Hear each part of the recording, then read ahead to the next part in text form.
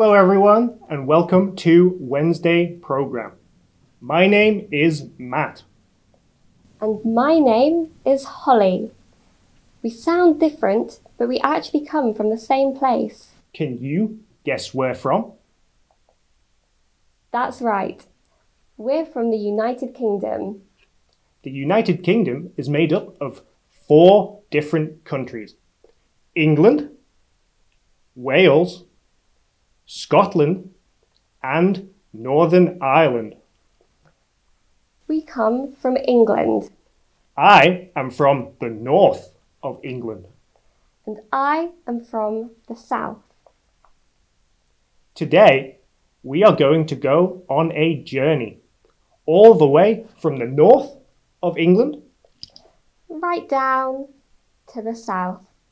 Are you ready? I'm ready. Let's go. So, starting at the very top, we have Hadrian's Wall.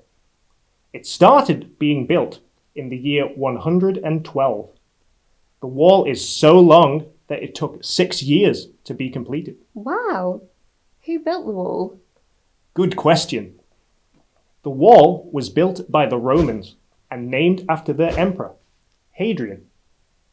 The wall separates England and Scotland and was built to stop fights between the two countries. Ah, so it was built for peace. Yes, that's right. If we go a little further south, we will find another landmark built for peace the Angel of the North.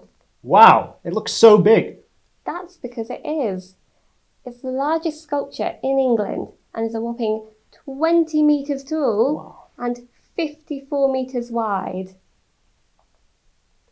It must have taken a long time to build. Not as long as Hadrian's Wall. It began being built in 1994 and was completed four years later in 1998. It's placed above a former mining site and it is symbolic of humans' hopes and fears. Can you think of anyone famous who likes to write about humans' hopes and fears?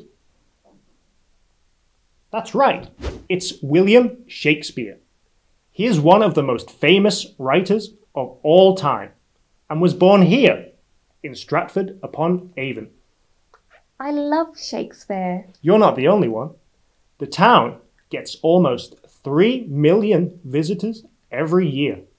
You can visit the house where he lived, the places that inspired him, and watch one of his plays being performed at the Royal Shakespeare Company. It's so beautiful. Yes, it looks like we've gone back in time.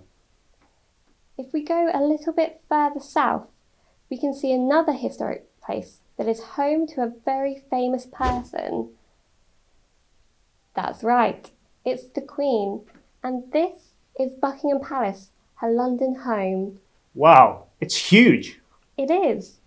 There are 775 rooms, including 188 bedrooms just for the staff. There's also rumoured to be an indoor swimming pool and a cinema. Wow, it's even bigger than I thought. It's a very important place in England, and it's somewhere that a lot of people go to celebrate or to mourn as a nation. It's a place that brings people together. That's right. We've now reached our final destination, right at the bottom of the country.